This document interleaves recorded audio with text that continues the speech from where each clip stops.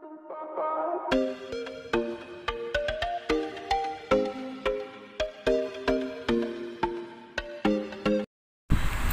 what's up guys? Uh, nandito po tayo sa Kupang.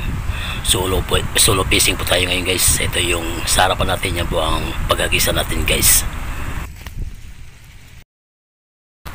Nagbago po tayo ng sit up. Nag-sit po tayo ng soft frog.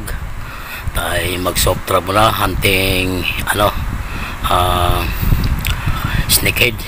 Baka sakali, baka dali tayo tayo ay mag-ikot-ikot muna tayo guys. Maghanap ng spot na kung saan tayo makadali ng dambuhalang dalag. Alright?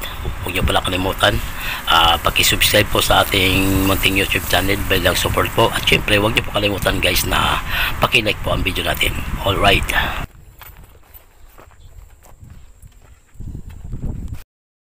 So ngayon guys, nandito po tayo sa kalsada. Itong nakikita nyo sa harapan kalsada guys, ay papunta po sa C6 yan.